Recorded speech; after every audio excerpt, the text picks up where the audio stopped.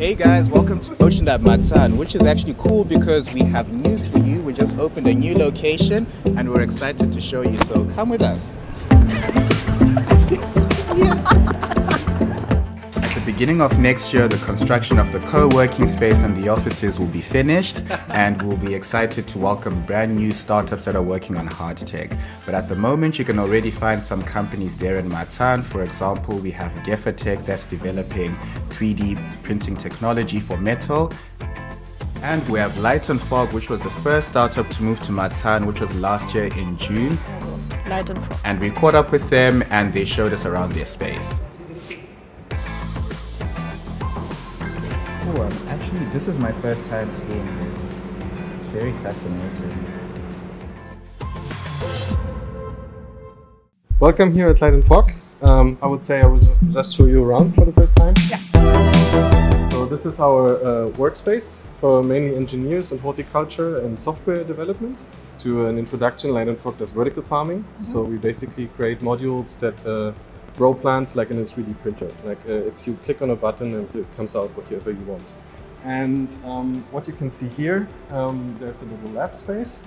Maybe that's uh, closed for today, but um, the kitchen and uh, our first module M, which is basically um, the essence of what we're doing. So basically this is our test stand where we tested for the real uh, scaling up later on mm -hmm. and where we can see how actually we can grow the plants in what climate they grow best, how, what they like most and how we can actually uh, proceed to, to, to, build a bigger module.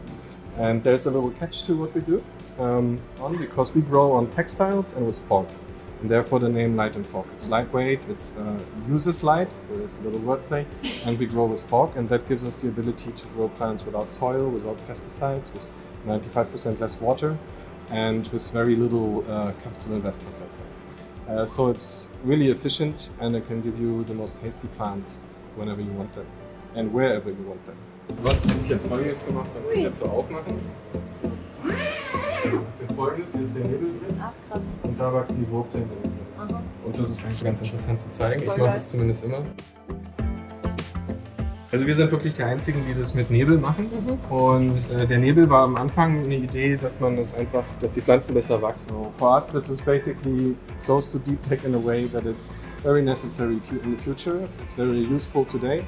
Um, but we don't see any point of uh, going along with the conventional agriculture and the way we do it today. Mm -hmm. So this is why we were looking for a space that is high-tech, that has some place, and um, where we can grow in an environment, let's say, an ecosystem that is full of thinkers, makers, and uh, engaged people.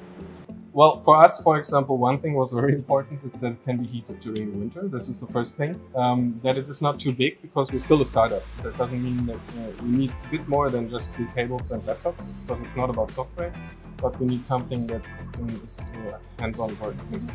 We were looking for this space that is also presentable in a way mm.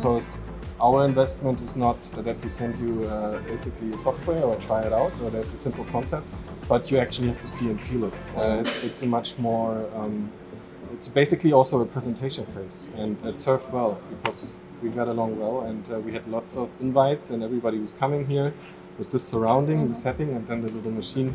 It works pretty well for us to, to have a, um, like to, to create a vision in, uh, in those people coming here. That's really cool and a great compliment. Thank you for that. and I wouldn't call it a little machine, but uh, yeah, it looks quite impressive.